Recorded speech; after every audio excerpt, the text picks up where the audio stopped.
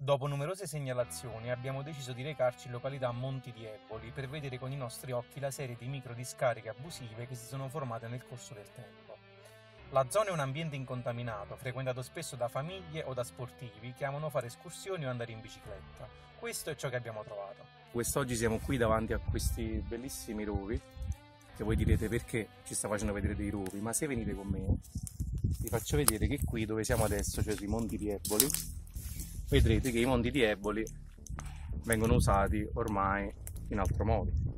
Ovvero sono, stanno diventando col tempo delle discariche abusive. Questa è la più famosa che è stata segnalata anche sui social è stata segnalata da varie persone. Vi facciamo vedere meglio da vicino tutto quello che ci sta. Copertoni vedete paraurti vedete sedili delle macchine. Possiamo vedere che questa roba sta qui da tempo perché qui è piena di insetti e di moscerini che ormai tra chi è morto e chi è vivo stanno facendo a gara a chi deve sopravvivere insomma. Pittura trasparente per interni un fanale che sta qui gomme di biciclette copertoni di ruote paraurti quando ne volete. Quindi se vi serve qualcosa non andate allo scasso venite qua perché siamo messi bene. Ma la storia non finisce qui.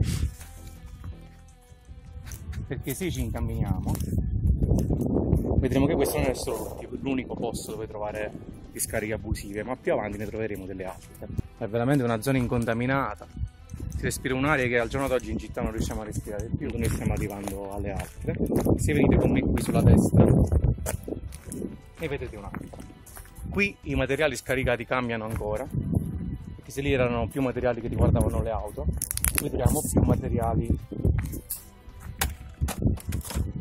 che riguardano ben altro genere, come potete vedere, barattoli enormi di pittura comunque, uno skateboard, come potete vedere,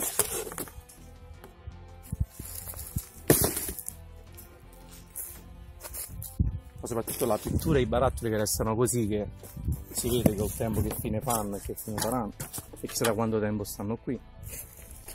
Ma voi direte, queste sono le uniche due cose che ci stanno? No, perché se andiamo qui sulla destra, come vedete qui c'è un piccolo rudere. E si sa come nei film, che quando ci stanno i ruderi, dentro qualcosa sempre devono nascondere. E infatti, vediamo questo qui cosa nasconde. Quest'altro piccolo rudere sta qui.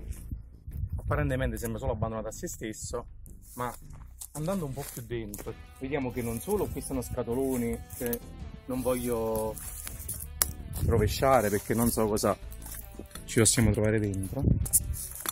Ma vediamo che anche qui c'è un po' di resti di tutto. Da materiale usato per le tapparelle. Più o meno a buste come quella che è lì nera che è piena di materassi, è piena di cuscini, è piena di qualche altro materiale non identificato ancora. Oltre altro materiale buttato qua a terra che è rimasto così chissà da quanto tempo Abbiamo provato a vedere se qualcuno potesse darci spiegazioni in merito a questo vandalismo ambientale, ma purtroppo sembra non esserci anima viva. Allora ragazzi, questa è la situazione che abbiamo trovato qui ed essendo questa comunque una delle poche zone incontaminate di Eboli, è giusto che resti così perché per chi viene qui per godersi il paesaggio, per godersi un po' la natura, per godersi l'ambiente, è giusto che quando venga in questo posto trovi una situazione naturale e non una situazione innaturale con delle micro discariche abusive.